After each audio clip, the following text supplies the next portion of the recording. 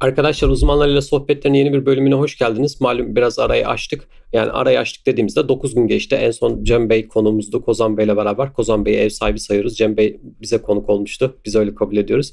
Ee, ama bu yayında da Kozan Bey ile beraberiz. Malum bazı gelişmelerin yaşanmasını bekliyorduk. Hani yeni haberlerin gelmesini kendimiz de tekrar etmek istemiyorduk. Hani size de şöyle dedirtmek de istemiyorduk. Ya bunu anlatmıştınız. Aynı şeyleri niye tekrar ediyorsunuz? Kendimize o konuma sokmak istemiyorduk. Ve malum yeni gelişmeler de yaşandı. Efes 2022 tatbikatı ile beraber Kozan Bey de katıldı. Ee, ben şimdi gene konularla böyle açılış yaptım ama Kozan Bey hoş geldiniz demeyi unuttum. Kozan Bey öncelikle hoş geldiniz. Şerefler verdiniz yayınımıza. Tekrar. Estağfurullah hoş bulduk. Çok güzel konulara girdi. Sen devam et. Ondan sonra da konuşuruz zaten. E, malum çok gelişmeler yaşandı. İşte bu Efes 2022 tatbikatında kargı e, görselleri paylaşıldı. Birçok arkadaş heyecanlandı. Bazı arkadaşlar eleştirdi ve yetersiz buldu. E, onun haricinde e, Twitter akışlarından Savunma Sanayi Başkanlığı'nın paylaştığı işte bu lazer hedef algılayıcının yerleştirildiği e, haberleri düşmüştü. SİDA'larımız e, denize indirildi. Bazıları atışlarını yaptı. Onun haricinde e, gündeme yansıyan işte Meltem uçaklarıyla alakalı haberler oldu. Yine Efes 2022 tatbikatında Anka e, yeni gelin gibi yeni mühimmatlarını gösterdi, sergiledi. E, Karayel İHA'yı gördük gene Efes 2022 tatbikatında ve Yunanistan'ın Navtex yayınlama gibi haberler de gündeme yansıdı. E, bunların hepsini konuşacağız. E, ama ben öncelikle hemen Kozan Bey'e de sormayı yöneltmeden e, sizlerden desteğinizi talep ediyoruz. Lütfen videolarımızın daha çok kişiye ulaşabilmesi için beğenmeyi, paylaşmayı, yorum yazmayı e, unutmayın. Sizden bu desteği rica ediyoruz ve şimdiden e, desteklerini gösteren, sunan herkese de çok teşekkür ediyoruz. E, Kozan Bey uygun görürseniz ben hemen ilk sorularımıza da geçeyim. Arkadaşlar malum e, çok özlemişler. Böyle çok mesaj da aldım. Bazıları şey diyordu, oh be diyordu. Aa, hatta unutmadan da şunu da söyleyeyim hemen soruya geçmeden. E, bir takipçimiz ee, yanlış hatırlamıyorsam bir Aksaray'daki bir e, etkinlikte bize çok selam göndermiş. Kozan Bey'e de göndermiş. Biz de kendisine çok selam gönderiyoruz. E, TÜBİTAK yetkilileri e, mesajla mesajlaşırken kendileri söylediler. E, o abiye de çok selamlarımızı gönderiyoruz. Bizim sıkı takipçimizmiş. E, selamlar, saygılar diyoruz kendisine. E, Kozan Bey, Şimdi Efes 2021 tatbikatında hemen e, bomba konuyla başlayalım. Lanta, Lanta Tekin bu kargı dolanan mühimmat Kamikaze İHA görselleri paylaşıldı. E, bunun üstüne de bir sürü konuşmalar yürüdü. İşte e, bazıları Twitter akışlarında Kubilay'a bir şey dedi. Bunu bizde de işte Scan Eagle tarzında bir şeye çevirebilmeliyiz. İşte e, böyle bir faydalı kullanım olabilir. Bazıları eleştirdi dedi ki niye elektrooptik yok üzerinde işte e, muadillerinin 10 sene önceki hali gibi diye eleştirenler de oldu. Siz e, gittiniz gördünüz yani bayağı birebir fiziksel olarak gördünüz. Sizin izlenimleriniz nasıldı kargı ile alakalı? E, kuvvet harp yapın bana demiş. Yani şey değil harop değil. E, birinci nesil harp yapın demiş. Vestel şeyin adıyla Lentatek'te harpi yapmış vermiş. Ama tabii ki hani e, birebir harpinin aynısını yapıp vermemiş. Ama e, istenen neyse onu vermiş. Şimdi bizde şey oldu e, hep bir alışkanlık haline geldi. İstenenin ötesinde verildiği için işte kuvvet bana Popeye ver dedi. Bizimkiler son verdi. Kuvvet bana ya havadan atılacak bir harpun verdi. Bizimkiler çakır verdi gibi hep böyle üzerine koyarak işte daha küçülterek daha özellikler katarak şunu yaparak bunu yaparak sistemler olduğu için e, kuvvetin sadece istediği verildiği zaman herkesten tepki gelmeye başladı. Hayır bir dakika bu çok zor bir şey. Şu anda dünyada e, İsrail haricinde doğru düzgün ülkenin elinde olmayan bir özellik şu anda kazandık biz hani buna sevinelim önce bir devamı da gelir. Bizim genelde kervanımız yolda düzüldüğü için öncelikle bir kervanın yola çıkması lazım ki e, bir bunu görebilelim. Elimizdekiler ömür olarak eskidi ve bazı yerlerde de kullanıldı. E, bu durumda da bizim yenilememiz gereken bir şeyimiz var, stratejik ürünümüz var. Çok uzun menzilli, örneğin baktığımızda e, gittiğinizde oraya nasıl diyeyim insansız hava aracı büyüklüğüne kanatları açıldığında katlanır kanatlı yaklaşan bir şey görmekteyiz. Gövde uzunluğu görmekteyiz ya kanat açıklığı görmekteyiz ama bu işte minyatür bilmem ne olmadığı anlamına gelmiyor. Kanatlar katlandığı zaman gayet işte bir kamyondan altı tane atılabilen set haline gelebiliyor. Ee, ben açıkçası çok beğendim. Özellikleri herkes şey yapıyor. Şu anda elimizdeki mevcut harpilerden çok çok daha becerikli, çok çok daha uzun menzilli, çok çok daha kabiliyetli olduğunu ısrarla söylüyorlar. Ee, kimse dile getirmiyor harpilerin hava şartlarından ne kadar çok etkilendiğini. Israrla bu sorunu çok iyi çözdüklerini, hava şartlarından hiçbir şekilde etkilenmediğini, çok çok daha başarılı olduğunu, dolanma süresinin çünkü bunlar en önemli özellikleri dolanan mühimmat olmaları.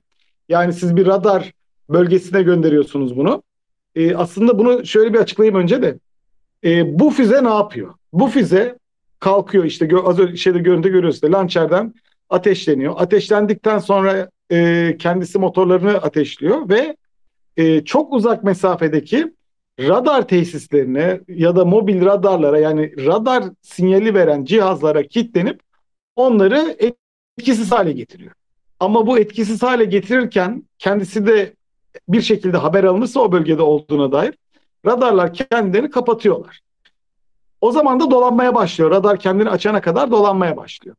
İki işe yarıyor. Bir, gidiyor etkisiz hale getiriyor. Artık o radar iş göremiyor. İki, gidiyor radar uyandılar bir şekilde. Radardan gördüler ya e, başka bir sistem sayesinde haberdar oldular. Radarı kapattılar. Sen zaten körsün. Yani Patriot bataryası bunu gördü. Vuramadı. Ama gördü. Kendini kapattı korumak için. Çünkü adamın elinde toplam 3 tane Patriot radarı var. Bunu kaybettiği anda bir tanesini diğer ikisiyle zaten daha az alanı koruyor olacak. Tamam radarını kapattığında senin için zaten o alan açılmış olmaya başlıyor. Yani bunun tek illa vurması diye görmeyin. Var olup havada olması dahi köreltmiş oluyor yani. Çok çok kıymetli bir beceri bu. Her şeyi hani vurma, yok etme, patlatma üzerine görmeyelim. Var olduğu için 10 saat boyunca o radar çalışmaması demek senin 10 saat boyunca orada hava operasyonu yaparken herhangi bir şekilde ha, karadan havaya teknolojik bir cevap beklememen gerektiği anlamına geliyor. Hele ki yüksek irtifadaysan o optik görüntülemelerle ayarlarla çok yani ısı görüntülemeyle çok fazla veri alamayacakları için sen çok iyi bir şey yakalıyorsun radarları kapalı olduğu için bir alan yakalıyorsun, yaratıyorsun kendine. Yani vurmasa dahi faydalı bir sistemden bahsediyoruz. O yüzden de biraz daha iri, evet bu iriliğin sebebi de daha uzun menzilli, daha uzun süre dolanabilme zamanı yakalayabilmesini sağlıyor daha fazla yakıt aldığı için. Ee, eleştiriler var dedin. Ne gibi eleştiriler var? Yani ben açıkçası çok beğendim. Yerlilik oranı çok çok yüksek bir sistemden bahsediyoruz. O yüzden dolayı da e, hani eleştirmek için biraz şey olmamız gerekiyor. Yani öncelikle bir konuyu doğru anlamamız gerekiyor. Kozan Bey eleştiri anlamında da şu şekilde eleştiriler vardı. Üzerinde işte e, mesela muadilinde olduğu gibi bir elektrooptik e, tarzında bir sistemin olmaması işte bu eksik görülüyor. Sırayla işte... gidelim. Hı. İleride olacak. Aynen onu ben de sordum. E, elektrooptik de şey yapıyor muyuz diye. Evet elektrooptiği de ileride olacak ama birinci istenen görev zaten radar sistemini üzerindeki radar arayıcı başlıkla bulup kilitlenip etkisiz hale getirmesi. Bunu yapmak için de siz bunu 250 kilometre öteden yapıyorsanız size 250 kilometre öteden e, şu anda İsrail'in en son teknolojik yaptığı Harop'ta şey vermiyor. Çok yani e, görüntü vermiyor. O da gidiyor kendi elektro şeyli kendi radar arayıcı başlığıyla vuruyor oradaki sistemi. Yani size görüntü verdiği mesafeler çok çok daha yakındaki şeyler oluyor. Siz böyle hatırlayın yani hani bu e, sistemlerin üzerindeki iletişim şeyleri bu e, bu tür dolanan mühimmatların üzerindeki iletişim sistemleri e, şeyler kadar yoğun değil. Onda bir anlaşalım yani hani e, Bayraktar, Anka gibi sistemlerimizdeki podlar kadar gelişmiş elektrooptikler değil. Onların derdi sadece o cismi görmek, o cismin şeklini algılayıp oraya gitmek için kullanılırken o algıladığını sana gönderiyor. Bak ben doğru mu algıladım diye. Yani siz orada binayı göreceksiniz zaten. O da evet doğru sen o binaya gideceksin dediği için o binaya yönlendirilecek ve gidecek. Yani siz öyle hani işte dalanan adamı gördü, o yürüyen adamın üzerine daldı. Bu, bu, bu sistemin görevi o değil. O yüzden dolayı da o tür bir elektrooptik zaten olmayacak ki Aroplar üzerinde de öyle bir elektrooptik yok zaten. Yani siz son dakikada yakın bir menzile atılmış çok şey bir hedef gördüğünüz için biraz görüntü güzel geliyor size ama gerçek hayatta hep öyle denk gelmeyecek. Yani o yüzden elektrooptik evet olacakmış ama olmadığı için de bu sistem kötü eski bir şey değil. Onu en baştan bir kabul edelim. Başka? Bir de şey üzerindeki Boxer motorla alakalı mesela İsrail muad İsrailli muadilinin işte Wenkel motora geçtiği işte biz hala onların 10 sene önce kullandığı tarzdaki Boxer motoru işte biz daha yeni kullanmaya başlıyoruz gibi eleştiri getirenler de vardı. Siz bununla alakalı ne düşünüyorsunuz? Önce eleştiren arkadaş hayatında hava motoru kaç tane yapmış onu bir açıklasın. Ondan sonra konuşalım. Boxer motor niye Benkel motordan daha iyiymişi internette Wikipedia'ya bakmadan kendi tecrübeleriyle bizimle paylaşsın. Ondan sonra buna doğru aklı başına bir cevap veririz. Yani e, internetten okuduğumuz her şey doğru değil. Boxer motoru da e, Boxer motoru savunmak için söylemiyorum. TEİ çok güvenilir bir sistem yaptığını ısrarla söylüyor. Ve bu çok güvenilir sistemi çok hafif yaptığını söylüyor. E, verilen motor gücünün gayet yeterli hatta çok çok daha iyi olduğunu fırtına vesaire gibi bir durumda dahi hiçbir şekilde zorlanmadan görevini yapabildiğini söylüyor. Harpi'nin sorunu neydi? Fırtına vesaire gibi durumlarda çok uzun mesafelerde gidememeye, gidememek demeyin de çok çok zorlanmaya başlıyordu motorundan dolayı. Bunu çözemediği için Boxer motordan çıktı. Daha güçlü Wenkel motora geçti. Motorları da kendi üretmediği için piyasadan aldığı motorlarla yaptı bunu. Sen kendin daha güçlü Boxer motor üretiyorsan Wenkel motora geçmene gerek yoksa o zaman senin için bir sorun yok demektir. Yani burada ısrarla bunu görmemiz gerekiyor. Onu görmeyip ezberden konuşmak biraz kolay oluyor. O yüzden dolayı da hani bazı şeyleri e, doğru tanımlayalım. Yoksa kuvvetlerdi bana Wenkel motor yap derdi. Wenkel motor yapılırdı. Yani o çok da ekstrem bir teknoloji değil yani. Ee, bir de ben size kendi adıma bir şey sormak istiyorum. Şu İsraillerin bir de bu şey vardı. Aynı gene muadillerinde bu gemilerden bu tarz e, dolanan mühimmatların kullanılması gibi bir konsept çalışması vardı. Belki de hayata geçirildi şu an tam bilmiyorum. Evet evet evet evet. evet. Sizce... Yani şu anda bu lançeri siz aynen şeye koyarsanız, gemiye koyarsanız gemiden de atarsınız. Şu anda bunda bir sakınca yok hani. Bu lançer ve komuta konsolunu gemiye koyarsanız kamyonun üzerinden atabildiğiniz bu lançeri marinize etmeseniz dahi sadece özel operasyon için gemiye koyup gemiden ateşlerseniz çok da rahat başarılı olursunuz. Çünkü çok otonom sistemler bunlar. Yani bunun özelliği o yani sevinmemiz gereken kısmı orada görelim. Bizim yaptığımız sistem yüzlerce kilometre ötede özellikli bir hedefi kendisi bulup imha edecek. Özellikli bir hedefi yaklaşıp bulup o bölgede bekleyip hedef kendini gösterdiği anda o zaman şey yapacak. Siz bir operasyon yapıyorsunuz. Siz operasyon yapana kadar o bölgedeki radar kendini kapalı tutuyor. Ama görüyor ki çok uzaktan haber alıyor ki Türklerin uçakları kalkmış. Bir dakika diyor benim diyor o zaman radarımı açayım diyor. Radarını açtığı anda tepesine bir anda bu düşüyor. Çünkü o, o sırada 10 saattir bu bekliyor üzerinde onu. Türk uçakları geleceği zaman o da radarını açacağını bildiği için radarını açtığı anda sinyali verdiği anda dalıyor ve böylece radar yok olmuş oluyor. Buna karar verebilen yüzlerce kilometre öteden attığın ve bunu yapabilen bir sistem elinde olduğu zaman buna artık sen geli, e, artıları eklemeye başlıyorsun. Yani o yüzden dolayı yani sistem var. Gemiden de atabilirsin bunu. Araçtan da atabilirsin. Başka bir platformdan da atabilirsin becerebiliyorsan. İyi bir şey elde ettik yani. Kozan Bey hemen bir sonraki konumuza da geçmek istiyorum. Ee, geçtiğimiz gün gene paylaşılan haberler arasında bu e, lazer hedef algılayıcı sistemin tamamen yerleştirildiği TÜBİTAK SAGE tarafından paylaşıldı. Aslında bu e, büyük bir gelişmeydi. E, bunda aslında çok da haberini yapma fırsatımız olmadı çünkü paylaşılan çok bir bilgi olmadı. Ama arkadaşlar hakkın arkadaşlar da yani konuyla ilgili arkadaşlar tarafından da bu konu çok merak edildi. E, bizimle bu konu hakkında paylaşabilecekleriniz nelerdir? Tabii ki. E, şimdi yerli hava hava füzelerimizi yapmaya başladık. İşte hem Bozdoğan hem Gökdoğan havada atılmaya başlandı. Çok yakın bir tarihte büyük ihtimalle üretime girecekler bunlar. Testleri tamamlandığı zaman ki sürekli de testleri yapılıyor bunların. Ee, şimdi ana tarayıcı başlık tabir ettiğimiz bir başlık var. Nasıl Bozdağ'ında ayar tabir ettiğimiz işte hem ısıl hem görüntü güdümlü bir sistem var. Nasıl Bo, e, Gökdoğan'da aktif fa, e, e, tarayıcı radar başlığı var. Bunlar bu şekilde hedefe gidiyorlar. Fakat hedefe yaklaştığı zaman füze illa fiziki olarak hedefe çarpmak zorunda değil ya. Civarında patlayıp bir şaraplar bulutu oluşturduğunda da böylece hedefi vurma yüzdesini arttırıyor. Hatırlarsan eğer bu konuyla ilgili program yapmıştık Feridun Hoca'yla. Ee, onu sağlayan şey üzerindeki yaklaşma tapası tabir ettiğimiz yani yaklaştığını anladığında patlayan tapa. Bütün yeni teknoloji batı füzelerinde bu tapa lazer tapa. Buna karşılık eski Rus sistemlerinde bu tapa e, şey tapa. E, ne derler ona? Radyo tapa. Ben de diyorum ki artık e, bizim elimizde şu anda e, radyo tapa üretiyoruz zaten eskiden beri biz. Ama bu lazer teknolojisine geçmemiz gerekiyordu.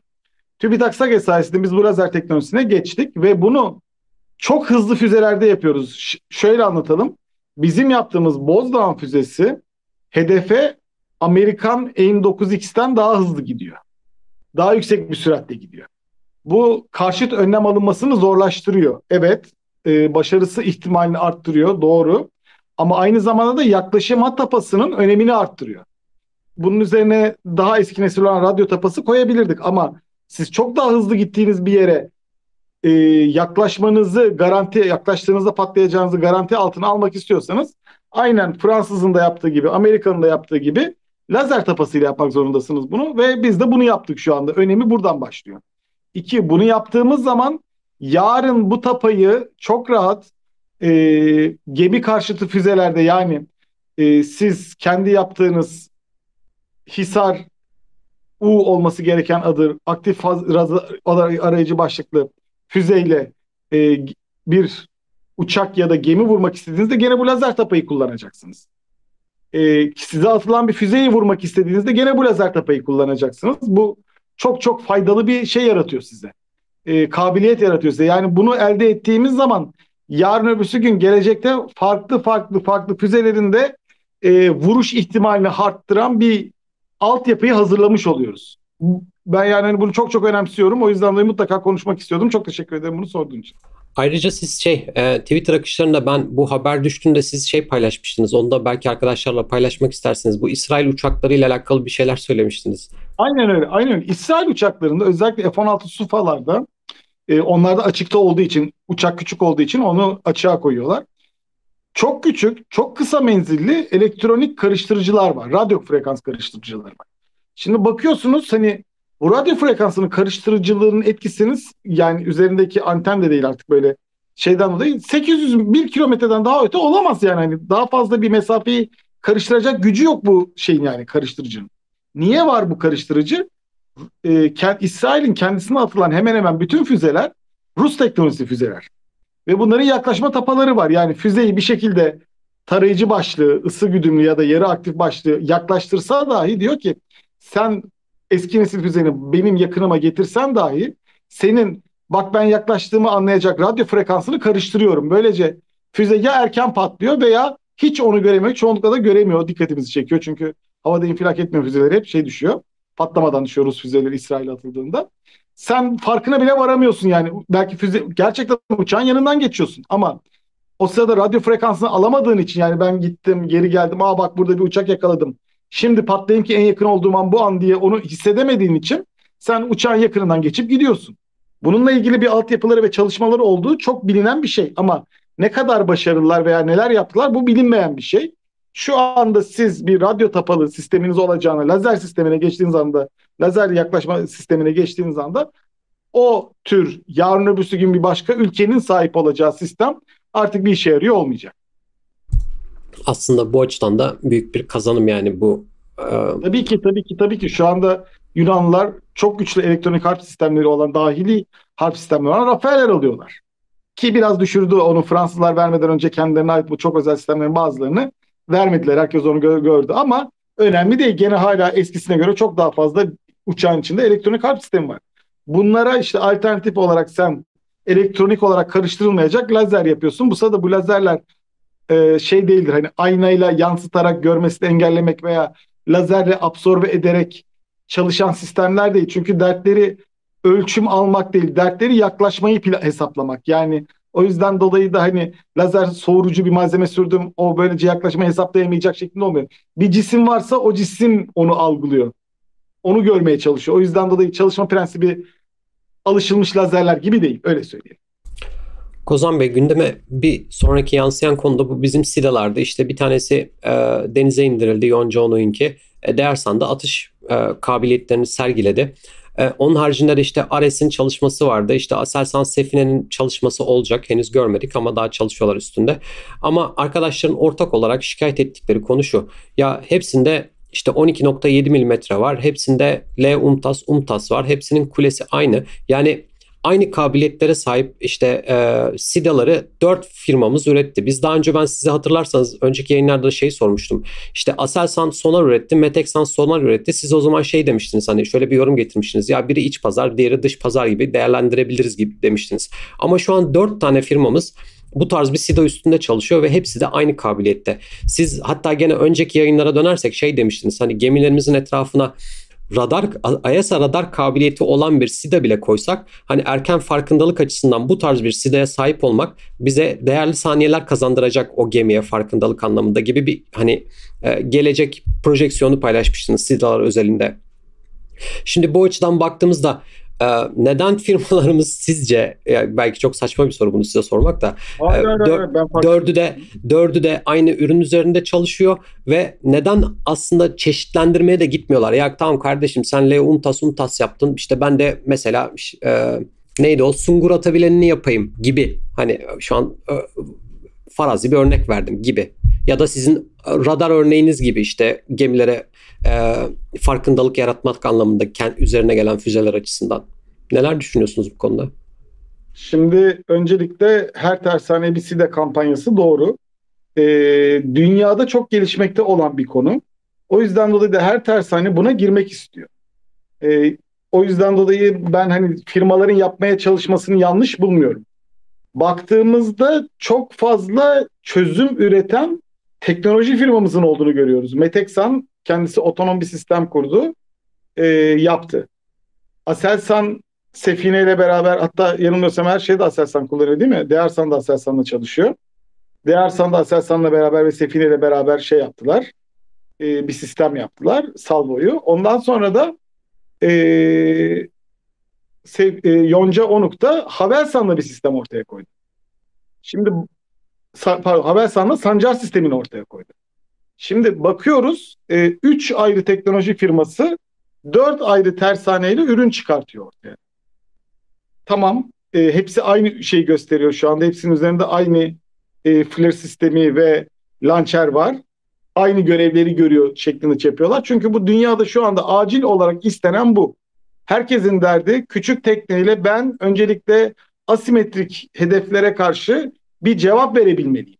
Bir en ucuz ve en kolay çözüm olarak bu isteniyor.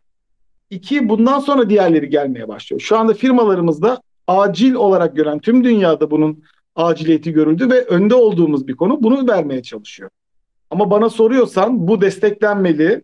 Yani e, denmeli ki firmalar siz misiniz? Havelsan, Aselsan, Meteksan. Bana işte bedelik mukabili birer tane e, denizaltı savunma harbi SİDA'sı yapın.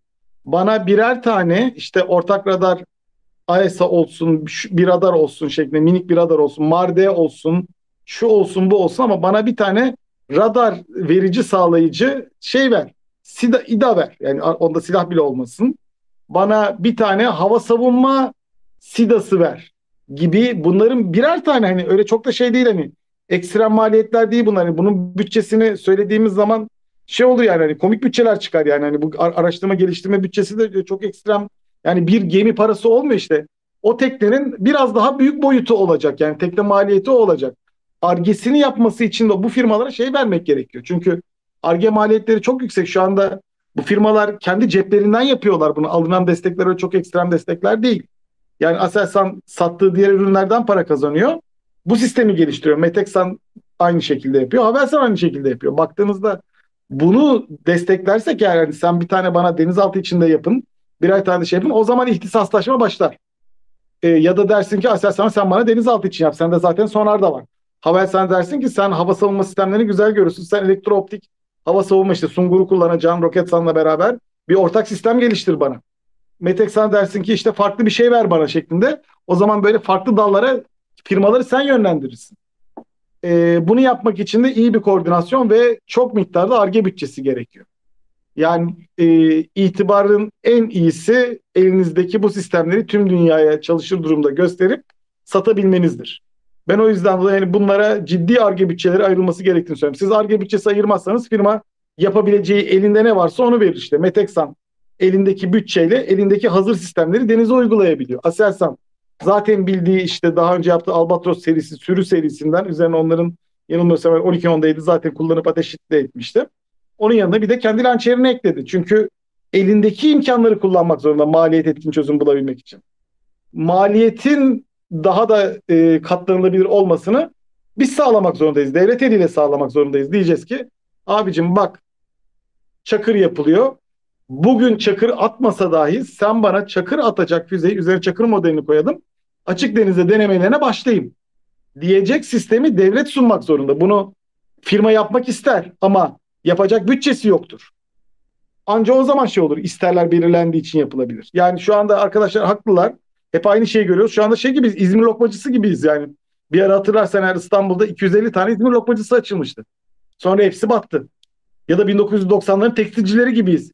Şu anda bir Orta Doğu ülkesinde ihale açılsa insansız deniz araçları ile ilgili aynı anda 4 firma 3 tane yükleniciyle gireceğiz yani. Hani Havelsan, Meteksan, Aselsan 4 ayrı firmayla girebilecek kapasitedeyiz şu anda.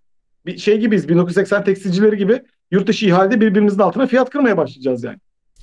Bunun olmasını engelleyecek koordinasyonu işte Milli Savunma Bakanlığı veya SSB'nin ürün yelpazesini genişleterek yapması gerekiyor. Ama bu yelpazenin genişlemesinde işte ya Havelsan Yonca ortaklığı sen niye yapmıyorsun diyemezsiniz. Sana bütçe verdim yap diye söylemek zorundasınız ki onlar da yapabilsin.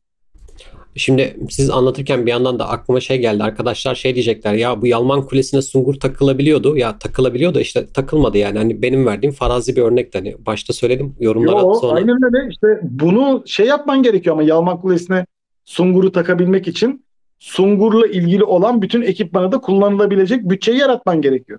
Elindeki bütçe e, karakol görevi için lazer güdümlü şey atmaya yönelikse, UMTAS veya cirit atmaya yönelikse cirit maliyeti olarak çok uygun bir füze çünkü.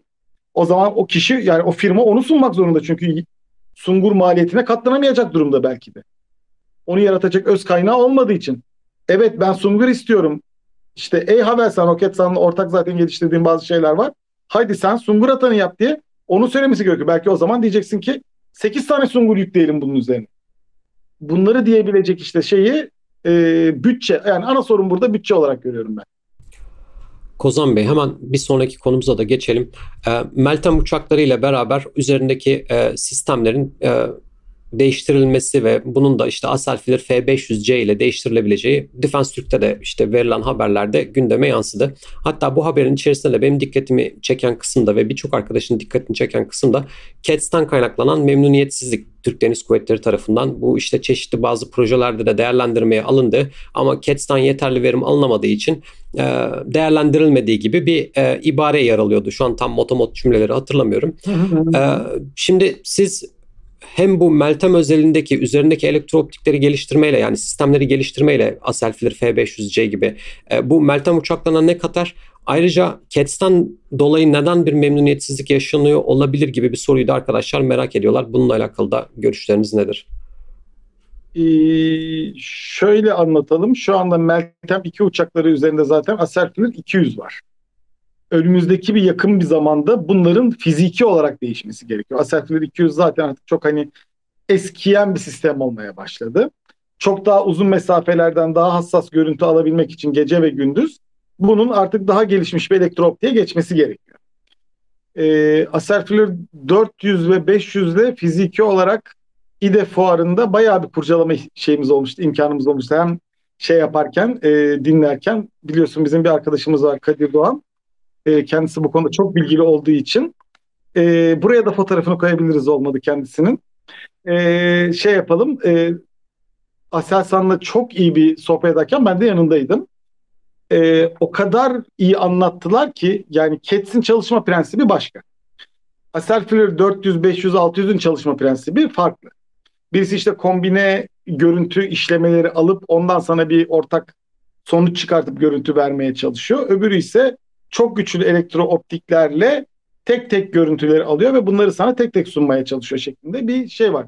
Dünyadaki ortak gidiş tek tek görüntü vermeye doğru gitmeye başladı. CATS, herkes CATS gibi sistemlerde çalışırken e, MX-15'in başarılı olmasının sebebi odur. Tek tek sana görüntü. İşte termal. Gece termal çok uzun menzilden şey vermeye başlıyor. İşte 107 kilometreden şey izledik Kanadalıların optiklerinin Yılan Adası'nda e, Su-20 Ukrayna Su-20'lerin füzeyi bırakma anını gördük yani 107 kilometre öteden. E şimdi bizim de e, örnek olarak bir e, şey radarımızın menzili 130 kilometredir. Seahawk'ların üzerindeki radarın menzili 130 kilometredir. 150 kilometrelere kadar hani görüntü alır belli bir irtifadan ama genel olarak artık 130 kabul edilir. Siz 100 kilometrenin üzerinde elektro optikle zaten çok net görüntüler almaya başladığınız zaman örneğin e, bana çok böyle bir iyi bir sistemin varsa TB2 veya Anka üzerine radar mı koyalım yoksa zaten poduyla biz bu kadar mesafelerden görüntü alabiliyorsak dersen bu mesafelerden sen görüntü alıyorsan kuzgunu da yönlendirirsin zaten o bölgeye. Böylece senin radar yükünü taşımana gerek kalmaz. Bu ortaya çıktığı için de elimizdeki e, sistemleri geliştirmemiz gerekiyor. CATS'in çalışma prensibi anladığım kadarıyla bu gelişme hızına biraz yavaş kalmaya başladı. CATS kötü demiyoruz. Şu anda üretimi ve şeyi güzel ama bu dijital görüntü işleme gelişme hızına CATS'in çok daha para harcanarak ulaşması gerekiyor. Bizde değil yalnız tüm dünyada bu şekilde işliyor bu sistem. Buna karşılık elektrooptikleri ise daha da hassas yaptıkça daha hızlı bir şekilde geri dönüş alınabiliyor. O yüzden iki kolda ilerlemeye devam edecek. Yani CATS ilerlemeye devam edecek. Şu anda CATS kötü istenmiyor bitti değil. Ama öbürleri çok hızlı ilerlemeye başladı. O teknoloji daha iyi gelişmeye başladığı için. O yüzden de hani bir an evvel elimizde iyi sonuç veren bir şey istiyorsak işte e, şey açıklandı şu anda Acerfil 300'lerin hepsinin şeyle değiştirmesi düşünülüyor. Ve işte 400 versiyonla değiştirmesi düşünülüyor. Gök, Gökbey üzerine 400 konulması planlanıyor. Bunun sebebi de işte çünkü o sistem hızlı ilerleyip daha hızlı gelişmeye başladı. Ondan istifade etmek için de siz de onu şey yapacaksınız bir an evvel onu hayata geçireceksiniz ama bu cats çöp bilmem ne hayır o anlamda değil. O teknoloji de farklı ilerleyecek. Belki yarın öbür gün e, bilgisayar sistemleri, işleyiciler o kadar hızlı gelişecek ki bu sefer diyeceğiz ki daha önce 400 takmıştık. Şimdi bak 600 takmak yerine niye Cats 2'yi takıyoruz, Cats 3'ü takıyoruz diyeceğiz. O zaman da belki Cats 3'ü konuşuyor olacağız. O teknoloji hızlı ilerlemiş olacak. Shift koldan ilerlemek faydalı yani açıkçası bu konuda. Şu anda öbür FLIR tabir ettiğimiz elektro-optik kombine olmayan sistem daha hızlı ilerlerken yarın öbürsü gün CAT sistemi daha hızlı ilerliyor olabilir. O yüzden iki kolda ilerlemekte bir mahsur ben görmüyorum. Yani dünyada bu konuda lider olmak istiyorsak yani kendi sattığın İHA'ya, kendi sattığın SIDA'ya kendi sistemini kurmak istiyorsan CAT'te para harcayacaksın, geliştirmeye çalışacaksın. Aserfil'i 400, 500, 600 ile geliştirmeye çalışacaksın. Yani bunun maalesef e, tek bir çözümü. Bak bir tane yaptım bu da süper oldu şeklinde bir dünyada çözümü yok maalesef. Kozan Bey hemen bir sonraki konuya da geçmek istiyorum. Bu gene e, FS 2022 tatbikatında hani siz de katıldınız. E, yansıyan görsellerde de işte bu Anka ile beraber e, Şimşek, Cemsa, e, Kuzgun, Kayı, e, Bozok bu tarz mühimmatların entegrasyonu ve e, Bozok yoktu yanlış hatırlamıyorsam. Cemsa, Kayı ve Kuzgun vardı. Var. E, bir şey görselde resim paylaşılan resimden bahsediyorum. Bilmiyorum hatırlamıyorum bozok var mıydı yok muydu. Neyse çok önemli değil. Ee, bu tarz Bozo yeni... camı aldım oynadım Bozo böyle bebek gibi sevdim. Ne diyorsun sen? Bozo böyle canım diye okşadım yani. yani o derece sevdik yani. ee, bunlar paylaşıldı. Yeni gelin gibi hani çeyizini sermişti Anka adeta. Ee, Birçok ben de haberini paylaştım. Ama sizin bu Efes 2022 tatbikatlarında tatbikatından hem bu mühimmatlarla alakalı hem de genel olarak Anka'nın bu gelişim süreciyle alakalı gözlemleriniz, gözlemleriniz nasıldı? Bu mühimmatlarla beraber ne tarz bir evrim bekleyebiliriz veya nasıl bir sıçrama göreceğiz veya nasıl bir kabiliyet kazanımı elde edeceğiz sizce? Şimdi e, şu şekilde bakmak gerekiyor. Bir, İHA'lar fiziki olarak iyileştirmeye gitti e, bakıyorsun şu anda Vestel Karayel'de e, eskiden şeyken bir tane işte mamle, bir tane mamce ya da iki tane mamce falan atarken şimdi ise bir tarafta büyük işte mamceyi atıyor yanında da mamleyi atıyor pardon yanında da üç tane mamle taşımaya başlıyor. Küçük olanlardan üçer tane taşımaya başlıyor. Yani şey yükünü arttırıyor, mühimmat yükünü arttırıyor. Faydalı yük olarak yakıtını arttırırken şey arttırıyor. Bir de üzerine uydu haberleşmesi koymaya başlıyor. Bakıyorsun işte şey neredeyse içinde elektronik kart taşıyacak duruma getirmeye başladılar e, TB2'yi. Üzerinde e, bir sürü açıklanmayan podlar vesaireler olmaya başladı. Anka'ya dönüyorsun bakıyorsun bir tarafta süpersonik e, hedef drone konmuş. Öbür tarafta Şimşek artık sadece hedef demeye dilimiz varmıyor. Dolanan mühimmat görevi de görecek. Seyir füzesi de olacak bir şey haline gelmiş. O konmuş. Yanında işte kayı e, mühimmatı konmuş. Onun yanına e, kuzgun mühimmatı konmuş, onun yanına başka mühimmat konmuş şeklinde müthiş gelişmiş bir şey haline geldi. Ürün gamına geldi. Nedeni çünkü artık bu Anka'da çok daha fazla şey taşımaya başladı. Faydalı yük taşımaya başladı. Ee, belki ilerleyen zamanlarda işte şeyi görmeyeceğiz ama hani kanat güdümlü kuzgunun Anka üzerinde standart silah olarak bir şey olduğunu göreceğiz. Çok daha uzun menzil. Çünkü bak az önce ne konuştuk? 100 küsur kilometreden sen elektrooptik olarak görüp konumu belirleyip de şey yapabiliyorsan oraya yüksek irtifadan kanat güdümlü kuzgunu bıraktığın zaman şu anda örneğin Yunan donanmasının şu andaki mevcut hiçbir gemisinin sana cevap verebilecek bir silahı yok. Buna en son teknoloji Hydras'a dair. Hatta eğer planlandığı gibi Aster 15 ile alırlarsa e, en son yaptığı Berharaları sen onu 100 küsür kilometreden gördüğün elektrooptikle kuzgunu bıraktığında on, senin İHA'na müdahale edebilecek herhangi bir en son teknolojik fırkateyninde dahi bir cevap olmayacak. Bu da çok önemli bir şey. Yani o yüzden hani bu sistemlerin gelişmesini sadece e, füzeciliğe ya da bomba imalatına bağlamamak gerekiyor. Aynı zamanda da İHA'lar o kadar çok uçuyorlar ve o kadar çok görev yapıyorlar ki İHA'lar gelişiyor. Bizim kadar hızlı ve çok İHA geliştiren de başka bir ülke yok. Yani şu anda e, ilk çıkan şeye bakalım, Reaper'a bakalım. Şu anki Reaper'a bakalım. Bizdeki ilk çıkan Anka'ya bakalım. Şu anki Anka'ya bakın. Aradaki farklar böyle afaki olmaya başladı bizde.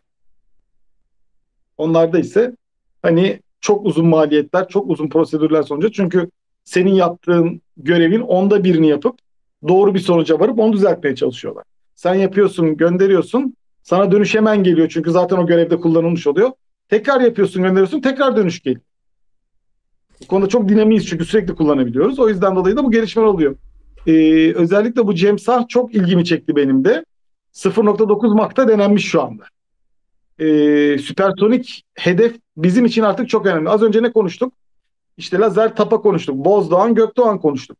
E bunların süpersonik hedefleri de vurması gerekiyor. Ve süpersonik hedefler üzerinde de defalarca farklı senaryolarda denenmesi gerekiyor. Belki biz hiç haber almıyoruz ama işte görüyoruz bir sürü atış sonrasında şey çıkıyor ortaya. Yani biz bir atış görüyoruz. Belki 20 atış yapılmış oluyor sırada. Bunların her birisi farklı senaryolarla oluyor. Yani e, işte farklı bir yöne giderken, farklı hareketler yaparken, farklı elektronik harp ortamları altında gibi şeyler yapılıyor. E, sistemler deneniyor. E, bunların da olabilmesini sağlayabilmek için bizim çok miktarda süpersonik hedefe ihtiyacımız var. Süpersonik hedefte kimse satmak istemez. İngiltere bize sattı birkaç tane.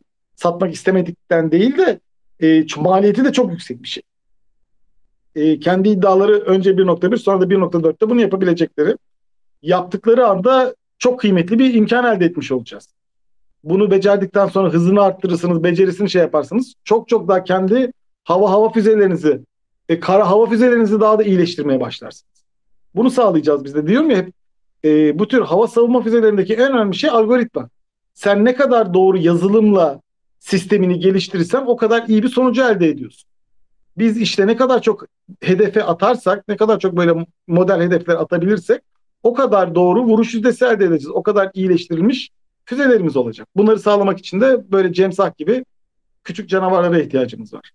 Belki yarın öbür gün bizim çılgınlar ona da süpersonik güdümlü füze haline getirirler başka bir şeyde. Benim işin açıkçası... Ondan bir tane şey görürüz yani bambaşka bir füze de görebiliriz. Benim işin açıkçası bu Şimşek de çok hani ilgimi cezbetti. Özellikle bu sahte e, hedef olarak kullanılmasında yani mesela kendini uçak gibi gösterebilmesi e, radarlara. Yani şeydi bu şimdi yani iş kendi içinde böyle beyin fırtınası yaparken düşünüyorsun ya işte bunu düşman hava sahasına gönderdiğinde radarlar onu uçak olarak algılayacak. Yani bu evet. aslında sana hava sahasını veya radarları kandırıp arkadan e, kendi kuvvetlerini sokmak anlamında da onun hava savunma mühimmatlarını boşa harcatmak anlamında da yani sayı, sayılabilecek birçok faydalı kullanımı var ve düşününce aslında e, şey güzel yolda ilerliyoruz öyle gözüküyor yani mantıklı belli bir e, konsepte uyarlanmış gibi gözüküyor ya da ben öyle algıladım yani kendi adıma. Kader çok güzel bak hemen bir açık kaynak şey yapalım beraber seninle e, analizi yapalım. Biz Şimşek'i Anka üzerinde ilk nerede gördük? Azerbaycan'da Karabağ Savaşı başlamadan 15 gün önceki tatbikatta gördüm. Sonra hani hep ve orada Ankara zaten orada kaldı. Üzerindeki şimşek mühimmatıyla beraber yani mühimmat demeyelim de şimşek aracıyla beraber. Hatta şey dedik işte orada karadan atma şey gitmediği için işte atıp da o hedefi şey olarak hayır demek ki şimşek zaten o sırada kendini belki de çoktan Rus teknolojisi radarları, Ermenistan radarlarına ki S-300'leri vesairesi gayet olan bir şeyden bahsediyoruz. Ermeni, e, Ermenilerin hava savunması o kadar da Rus sistemlerine göre adetsel olarak hiç de kötü değildi. Demek ki bu şimşek belki de şu anda çoktan az önce konuştuğumuz maksatlı olarak kullanıldı biz bilmiyoruz. Dediğiniz gibi çoktan combat proven yani sahada kendini kanıtlamış ol, olabilir yani. Ve e, yani mühimmat harcatmak ve olan sistemi kandırmak açısından da çok faydalı. Bence hani hem kendi adıma ben takip edeceğim Şimşek'in evrimini arkadaşları da burada dipnot düşmüş olalım Şimşek'le ilgili de. Bence onlar da bir evrimi takip etsinler. Doğru bir analizi yakalarsak dünyada o kadar hızlı hava savunma füzesi zaten maliyeti geçiyorum. Ama o kadar hızlı hava savunma füzesi imal edemezsiniz. Şimşek'e patriot atmaya başladığınız anda siz zaten kaybettiniz. Öyle söyleyeyim. Yunanistan şimdi çok güvendiği bir hava savunma sistemi var. 3 batarya Patriot'u var. Doğru. 3 bataryayla kendini Ege'den gelecek her tehdide karşı savunur. Ama siz Şimşek'e karşı kendinizi Patriotlarla savunmaya başlarsanız siz zaten kaybettiniz. Çünkü Patriot attığın anda ona onun yenisini Amerika sana uçağa koyup ne kadar gönderebilecek? Çünkü Patriot şey gibi değil. Javelin gibi haydi 5000 tane daha göndereyim şeklinde gönderebileceği bir füze değil. Yapması yıllar sürüyor. Tanesi 3,5-4 milyon dolar. Yani en iyimser ihtimalle 3,5-4 milyon dolar. Pak 3 daha da pahalıya geliyor. Yani baktığında yani hani öyle o kadar hayat kolaylaştırmayan sistemler bunlar. Hayatı çok zorlaştıran sistemler bunlar. Ve maliyeti de hedef uçak maliyeti senin için. Kesinlikle. Bize olan maliyeti çok düşük. Artı ona mühimmat harcatıyorsun. Hani dediğiniz gibi adam milyon dolarları atmak zorunda kalıyor. Küçücük bir hedef uçağı ve ettiği yani harcadığı yaptığı masraf işte buna karşılık çok yüksek yani. Bence yani harbi maliyet şey şu anda Ukrayna savaşında inan birileri hani savaşıyor hep onu görüyoruz da birileri de deli gibi maliyet hesabı yapıyor. Yani şu anda birileri oturmuş durumda orada bomba atarken öbürü de orada kaç paraya mal oluyor onu hesaplıyor. Bu da çok ciddi bir şey yaratıyor. Hani savaşlar aslında günümüzde hani sadece yüksek teknoloji silah vesaire değil. En maliyet etkin yapma üzerine bizim de içimize atsan içimizden maliyet etkin çıkacak askeriyede hani. Bizde operasyonlarda bile şey yapılıyor. Gerçekten maliyet hesabı yapılarak gidiliyor. Şunu şöyle yaparsam daha ucuza aynı hedefi vurabilirim maliyetiyle gerçekten bu şekilde çalışılıyor yani. Düşündüğünüzde çok şeydir bu yani hani. Ee, hem sinir bozucu hem de iyi bir şeydir yani vatandaşın bu şekilde şey yapılması e, vergisinin kıymetli tutulması. Ama baktığımda hani gerçekten biz bu konuya çok önem veriyoruz. Yani vurulabilecek bir hedef için hassas mühimmat kullanmayalım, serbest düşümlü bomba kullanalım. Vurulabilecek bir şey için işte e, man mühimmatı yerine cirit mühimmatı kullanalım şeklinde bir sürü karar vererek yapmaya çalışıyorlar. Bunu yaparken de hani herkes buna özen gösteriyor. E sen bunu karşı tarafa tam aksini yaptırmaya başlarsan hani bir şimşek hedefi için 3-5 milyon dolarlık füzelerini yağdırtmaya başlarsan ona bir yerden sonra hani tillahı olsa dayanamaz. O kadar söyleyeyim. İsrail bile şeyden 5 milyar acil kredi almak zorunda. Kredi hibe aldı yani Amerika Birleşik Devletleri'nden Gazze Savaşı sırasında. Kozan Bey hemen bir sonraki konuya geçeceğim. Hazır siz Yunanistan demişken e, Yunanistan bir de Navtex yayınladı. Bu da e, gündeme çok yansıdı. E, çok uzun süreli bir Navtex yayınladı ve birden fazla nokta için e, geçerli olan bir Navtex yayınladı. Şu an e, ekranda görüntüleri ben yansıtacağım. Ee, siz bunun hakkında neler düşünüyorsunuz? Bazıları şey dedi Yunanistan ateşle oynuyor ya işte hani bizim içimizdeki artık böyle e, Yunanistan kinini de bize kusturmaya başladılar. Çünkü hani çok tahrik ediyorlar, çok üstümüze geliyorlar. Hani şey gibi tamam kale almıyoruz, bizimle denk görmüyoruz e, ama tahrik ediyorlar ve e, nasıl söyleyeyim insanların içindeki o şeyde kabarmaya başladı gibi hissediyorum ben kendi adıma. Ee, siz bu açıdan sizin görüşleriniz nasıl Yunanistan'ın bu son hamlesiyle alakalı ve genel olarak gidişatla alakalı? Kaner, e, Adalar Denizi'ne baktığında zaten hani uzaylının bile yukarıdan baktığında kabul edemeyeceği bir siyasi harita var. Yani sana 800 metre ötedeki Kuşadası'na 800 metre ötedeki Samos adasının Yunanistan silahlı kuvvetlerinin bulunduğu bir ada olmasının açıklanabilir bir teknik bir tarafı yoktur. Virgül bunu 15 milyon nüfusu olmayan bir ülkeyle yapmaya çalışıyorsan bunun da sürdürülebilirliği yoktur. Açıkçası bunun Amerika'da farkında, Fransa'da farkında, belki Yunanlılar da farkında. Ama bunu yaparken de karşı tarafa onu da yıpratman gerekiyor. Az önce nasıl konuştuk işte sen şimşek atacaksın o çok pahalı füze atacak. O da kendince şey yapmaya çalışıyor. Sen yeni bir tane sondaj gemisi aldın. Bu gemi Mersin'e geldi şeye başladı çalışmaya başladı. Sen o bölgeleri navtexleyerek aklın sıra şey yapmaya çalışıyorsun. Sen buralara sondajda girirsen bak benim eğitim atış sırasında seni vurabilir mi demeye çalışıyorsun da biz tek başımıza girmiyoruz ama o bölgeye. Bizim sondaj gemisi geldiği zaman dört tane savaş gemisiyle geliyor. Sen de hayatında yan yana dört tane savaş gemisine bir arada yıllardır şey yapmadın, tatbikat yapmadın. Yani Yunanistan için bahsediyorum. Dört tane savaş gemisiyle herhangi bir fiziki tatbikatta bulunmadı kendileri. Bizim yıl içinde bilmem kaç defa gerçek iş yaptığımız bir durum ortada. Libya'dan şeye kadar Türkiye'ye kadar bir ara şey çekmiştik biz. Deniz hattı çekmiştik. Yani o bölgemizde aralıksız olarak 6 tane fırkateyn 2 tane korvetle dolaşıyorduk. Sürekli nakliye gemileri şey yapıyorduk. Gemileri besliyorduk. Yani biz bu şekilde çalışan bir ülke olduğumuz için hani onların bir de Navtex yayınlıyorlar. Bu Navtex ile ilgili ateşli şey de yapılacak diyorlar. Türkiye defalarca bunu şikayet etti ve tüm dünyada bunu kabul ediyor. Yunanlar bir Navtex yayınlıyor sonra da hiçbir şey yapmıyorlar. Bu da yalan habere giriyor. Artık rezil olmamak için e, gerçekten Yunanistan geliyor makinalı tüfekle orada ateş ediyor o bölgede. Bu üç ay içerisinde o bölge, o yayınlanan o bölgelerde birer defa makinalı tüfekle ateş edip birkaç tane belki o da hani yalan olmadığını şey yapabilmek için gösterebilmek için eğitim top mermisi atacak o kadar. Yani yapacağı o ki onu da yapamaz eğer velev ki biz o bölgede şu andaki yapılan Navtex bölgelerine baktım. Şey değil hani bizim sondaj arama bölgelerimiz değildi ilk anda benim görebildiğim kadarıyla. Velev ki olsa dahi e, çok ciddi bir şey beklememek gerekiyor. Aklı sıra şey yapıyor ve çok ilginç. E, bilerek o da onu yapıyor. Girit bölgesini ısrarla demeye çalışıyor. Amerika'yı dahil edebilmek için. Çünkü Girit'in e, batı tarafında Amerikan üssü olduğu için o da hep böyle Girit bölgesinde tansiyonu yükseltmeye çalışıyor. Aksine bizde Girit bölgesinde olmayan Kıbrıs'la kendi aramızdaki Doğu Akdeniz bölgesinde sondaj yaparak hani bizim sorunumuz Girit'in ucu değil. Bizim sorunumuz Doğu Akdeniz'deki münhasır ekonomik deniz sahasına çekmeye çalışıyoruz. Arada fark var yani. O yüzden Navtex'in hani çok da ciddiye alınacak bir tarafı yok. Oraya girdin diye sana savaş açabiliyorsa da yani hodri meydan. Bir yerden sonra onu diyorum yani hani e, tansiyon yükseltmek iyidir ama el bir yere kadar yükseldikten sonra hani Amerika'da bir dakika abicim bu iş artık şeye gidiyor. Hani olsun biraz şey olur nazik bedenleri zorlar. Öyle söyleyelim. Ya işte pokerden örnek verirsek o şey e, dediğiniz gibi yükselmeye başladıktan sonra geri dönüş olmuyor ve zarar eden büyük zarar ediyor yani o tamam iş da pokerde burada şimdi çok ilginç bir şey var. Masada poker oynuyorsun da e, Yunanistan'ın elini Yunanistan oynamıyor. İki tane adam var arkasında şunu at bunu at bilmem ne diyor onlar seçiyor. O sadece kağıtları tutuyor böyle bakıyor. O yüzden de yani alıştığımız gibi oynanmıyor şu anda. Doğru doğru. Onlar da yerden sonra bir dakika bu çok pahalıya mal olmaya başlayacak. Sen bir dur, sen bir dur diye şey olmaya başlar. O yüzden eli yükselteceğiz biz de yani. Doğru.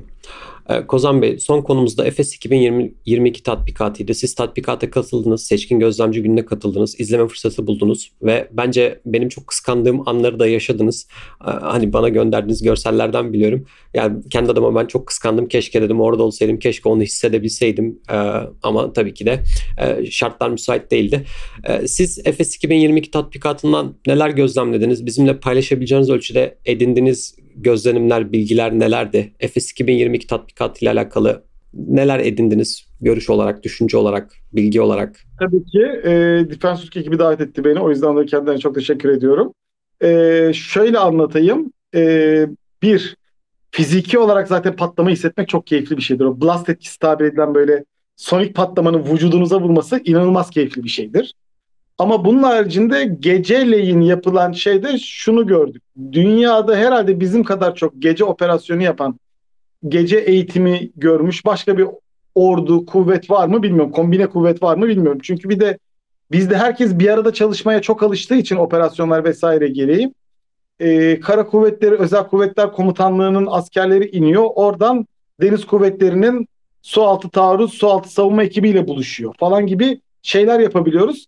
Bu sırada bakıyorsun adamlar o abi biz zaten hep beraber bilmem neredeydik. Buraya gelmeden önce işte Suriye bilmem ne bölgesinde biz zaten beraberdik şeklinde sana cevap verebiliyorlar. Dünyada bunu yapabilen bu kadar kombine çalışmayı gerçek hayatta da başarabilen bir Amerika varsa vardır o kadar. Onun haricinde başka bir ülke yoktur. Yani on, yani bugün burada biz şöyle anlatalım. Baltık'ta da aynı anda bir tatbikat var. Baltık'taki 3 günlük 4 günlük tatbikatta hayatlarında uzun süredir yapmadıkları denize çıkıp deniz imkanlarında neler yapabileceklerini görmüş ve göstermiş oldular. Yani gerçek bir senaryoyu yaşamaya çalıştılar. Biz ise yıllardır operasyonlarda yaptığımızı diğer insanlara gösterme fırsatı bulmuş olduk. Arada çok büyük fark var. Birisi ne yapabileceğini görmeye çalışıyor. Biz ise ne yaptığımızı göstermeye çalışıyoruz. Yani dünya kadar bir farktan bahsediyorum burada. Benzer kelimeler ama aradaki fark çok çok büyük. Bizim kadar çok gece operasyonu yapabilen kimse yoktur yani. O kadar net iddiacı söyleyeyim. Yani CH-47 helikopteri önümüzde uçuyor bizim Chinook'la. Böyle şey yok bu helikopter nerede? Sesini duyuyoruz ama göremiyoruz. Gece o kadar zifiri karanlık. Sonra bir anda karşına çıkıyor. İşte F-16 bomba atıyor. Biz şeyiz evet bomba atıldı tamam teşekkür ettik söylediniz. Hiçbir yerden göremiyorsun. Patlama oluyor F-16'ın sesi geliyor. Hiçbir şey yok ortada yani fiziki olarak e, karşımızdaki hiçbir güç bizim kadar gece operasyonlarına hazırlıklı, çalışmış, kullanabilir durumda değil. Bunu çok net söyleyebilirim. Hani düzenli ordusundan düzensiz e, terörist unsuruna kadar hiçbirisi şu anda bizim kadar gece operasyonuna hazırlıklı değil. Bu konuda hani en önemli şeyimiz o. Ve bunu dünyaya çok güzel gösteriyoruz. Yani en şeyde o hani kabiliyetimizi gösteriyoruz değil. O adam bizim kabiliyetimizi zaten şeyden görüyor. Sen merak etmesin yani hani e, yaptığımız operasyonlardan görüyor. Ama biz bunu teknik olarak askeri uzmanları da çağırıp göstererek hani bak abicim biz buyuz. Çok iyi verebiliyoruz. O zaman karşındaki Amerikalılar bir ay önce bir ay bile sürmemişti. Birkaç hafta önce Yunanlılarla amfibi çıkma şey yaptılar. 6 tane bot yan yana gidip çıktı. Yapılan eğitimde buydu. 6 tane bot USS Anchorage'dan çıktı. Bir şey gelen aynı e, ondan sonra. Bir ay sonra aynı USS Anchorage geldi. Orada yaptığı tatbikatın herhalde 6 katını falan yaparak Türkiye'de tatbikat yaptı. Efes 2022'de. Üzerinden iki tane CH-53 kalktı. Gece operasyonlarına katıldılar. Gündüz operasyonlarına katıldılar. Geceleyin gemiden çıkış, gemiden iniş, Türk helikopterleri Anchorage'ın üzerine şey yaptı, geldi vesaire. E sen Yunanistan'da niye bunları yapmıyorsun? Çünkü Yunanların geceleyin çalışmasının riskini Amerikalılar kabul edemiyor. Bu kadar basit ben sana söyleyeyim yani. Hani. Sen bizimle yaptığın gece sızma işte bizim izlediğimiz o şeydeki harekatı Yunanlılarla gündüz yaptın. Geceleyin hiçbir şeyin olmadı senin faaliyetin olmadı. Olsa can, bayılarak yayınlardın. Çünkü özellikli bir beceri kazanmış olurlardı. Demek ki yok. Yani burada bizim çıkarmamız gereken şey yani tatbikatta şu silahı gördük, bu silahı gördük. Biz zaten hep silah görüyoruz. Onda sıkıntı yok ama biz dışarıya geceleyin dahi başkalarının yapamadığını gündelik operasyonlarımızda yaptığımızı gösterdik. Ama benim dikkatimi çeken bu Milli Savunma Bakanlığı yayınladığı görsellerde Korkut'la Orlikonların atışları da şiir gibiydi yani böyle tır tır arkası arkasıya böyle o izli mermileri gece atışları vardı. Twitter'a düştü belki siz de izlemişsinizdir. Özellikle ben sesi açarak izledim o videoyu. Şiir gibiydi yani onu dinlemek böyle. Dedim ki şimdi Kozan Bey bunu yaşıyor. Kaner e, görüntüsü şey inanılmaz keyifli. Zaten ona hani şey girmeye gerek yok. Hani onu arkadaşları şimdi, şimdi nazar ettirmeyelim kendimize. Ama şunu söyleyeyim. E, bak çok güzel bir şey değindi. Korkut nasıl diyoruz hani aynı zamanda paralanan mühimmatla çok kıymetli bir şey sağlıyor. Hani e, noktasal savunma sağlıyor. Çekili modernize edilmiş o ORL konularımızda da aynı özellik var. Onlar da Korkut'un attığı paralanan Aselsan atom mühimmatını atabiliyorlar. Yani bizim şu anda modernize ettiğimiz her çekili sistem bir falanks tabir ettiğimiz yakın hava savunma görevi görmeye başlıyor. Sen yani hep eskiden konuşuyorduk ya e, kara hedeflerini falan gibi koruyacak sistemlerimiz yok diyorduk. Artık sadece Korkut değil aynı zamanda da çekili modernize edilmiş o konularımız da yanlarındaki o radar ve diğer sistemlerle beraber ve bunu ayrık mimari tabir ettiğimiz hani biri diğerinden birkaç kilometre ötede konulacak şekilde de yaparak çok daha büyük alanları koruyabilir hale geliyoruz. Bunu da e, şov olarak izlemek daha da keyifli oluyor açıkçası. Valla çok şanslısınız. Yani ben... görmemiz gereken hani havaya atılan şey değil havaya onun bilgisayar sistemiyle kontrol edilerek atılması ve paralanan mühimmat kullanılabiliyor olması. Burada Aynen. hani asıl dikkatini çekmemiz gereken o. Ayrıca çok keyifli bir görüntü. Kesinlikle. Ben çok kıskandım kendi adıma buradan herkese söyleyeyim ya. Ben Kozan Bey kıskandım yani. Hani o e, blast etkisini hissetti. O Orlikon'la Korkutları, o gece atışlarını izledi. Atağın atışlarını izledi. Kozan Bey çok şanslısınız. Şey var örneğin e, yaptığımız modernizasyonları da görme imkanımız oldu e, bizim yaptığımız işte lazer sistemini güncellediğimiz e, diğer şey yaptığımız anti tank sistemlerine de şimdi isim vermeyelim şey almadık izin almadık diye. E, Ukrayna'daki görüntülerini izlediğim sistemlere göre çok daha temiz ve güzel gittiğini gördüm. Hep Ukrayna'da böyle yılan gibi gidiyor sistemler. Şey yaparak çünkü lazer düzeltmesi ve o yılanlığın sebebi nedir? Lazer orada sabit. Sen kaçıyorsun hedeften tekrar düzeltiyorsun kendini. Aa benim kafam gene kaçıyorsun tekrar düzeltiyorsun. O yüzden hep böyle şey gibi gider. Yılan gibi gider hedefe. Ya da balık gibi gider hedefe. Burada ise direkt olarak ip gibi gidiyor bizimkiler. Gayet hani ben hedeften sapmıyorum. Öyle sağa sola kaçmadan için rota düzeltmem de çok çok daha az gerekiyor. Çok daha temiz bir yüzeyde gidiyor. Neye faydası var? Menziliniz daha uzun aslında. Yani biz modernize ettiğimiz sistemlerde açıkladığımız menzillerin iddia ederek söylüyorum bunu. Belki de çok çok daha üzerine atışlar yapabiliyoruz. Buradan da bunu görüyoruz. İşte yani bizdeki sistem o bir şeyi yapmaya başladıktan sonra iyileştirmeleri falan çok iyi yapıyoruz. Burada bizim sorunumuz zaman ve bütçe. Kesinlikle. Kozan Bey çok keyifliydi sizi dinlemek. Valla ben özlemişim beraber yayın yapmayı. Arkadaşlar da bana mesaj atıyorlardı. Ya bir sohbet yapın Kozan Bey dinlemeyi özledik. İşte uzmanlarıyla sohbetler yayını özledik. Yani şu an o arkadaşları daha net anlıyorum. Hani siz dinledikçe böyle ben de şey diyorum ya özlemişim. Ama e, şimdiden arkadaşlardan özür dileyim. Ben ev taşımayla falan uğraştım. Bu yayında da belki teknik aksaklık olduysa özür diliyorum. Çünkü e, henüz daha kendi sistemime tekrar geri dönemedim. E, bu sebepten dolayı da yayınlarımızda biraz ara oldu. Bunun için de arkadaşa, arkadaşlara özürlerimi sunuyorum. Ee, yok Kozan... yok haklılar ama şunu da anlatmak gerekiyor Kaner. Hani biz ihtisas şey yapıyorum. Hani ben özellikle hani ben her konuda konuşamam ki hani şimdi yeni bir tank sistemi olsa onunla ilgili olarak ben konuşamam. Çünkü benim ihtisas konum değil. Hani mutlu olurum. Ama hani heyecanla onunla ilgili sohbet ederim ama bu benim e, ihtisas konum değil. Benim ihtisas konumla ilgili gelişme olursa onu değerlendiririm. Hani Moskova battı. Tabii ki onu değerlendirmek isterim. İşte atıyorum kafadan Yılan Adası'na giden çıkartma gemisinin üzerindeki Thor vuruldu. Elbette bununla ilgili konuşmak isterim ama hani gidip de bambaşka bir konudaki bir şeyle ilgili ben her şeyi bilmiyorum. O yüzden dolayı da e, çok sık hani arkadaşın istediği kadar sıklıkla program yapamayız. Onu, onu anlatmak istiyorum. Aynen. Kozan Bey çok teşekkür ediyorum. Ben arkadaşların teşekkürlerini de şimdiden size iletmiş olayım. Yorumlarda muhtemelen kendileri de teşekkür edeceklerdir. Bu Aynen arada öyle. Abone olsunlar. Kanalı ele geçirmeyi planlıyoruz. O yüzden abone olun. Kanalı ele geçireyim ondan sonra. çok teşekkür ediyoruz. Arkadaşlar gerçekten desteklerinizi bekliyoruz. Bu videoların daha çok insana ulaşabilmesi için, daha çok kişiye erişebilmemiz için lütfen beğenmeyi ve paylaşmayı ve yorum yazmayı unutmayın. Ee, destekleriniz için teşekkür ediyoruz. Kozan Bey size de çok teşekkür ediyorum. Bize vakit ayırdığınız için, e, görüşlerinizi, düşüncelerinizi bizlerle paylaştığınız için. Ee, arkadaşlar bir uzmanlarıyla sohbetler yayınının Kozan Bey ile beraber sonuna geldik. Ee, bir sonraki bölümde görüşene dek herkese hoşçakalın diliyoruz. Kozan Bey'e de tekrar teşekkürlerimizi iletiyoruz.